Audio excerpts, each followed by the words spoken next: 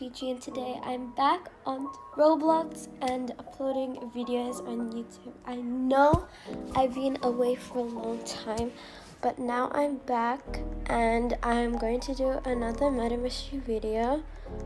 A murder mystery wins video, so you're gonna see me winning.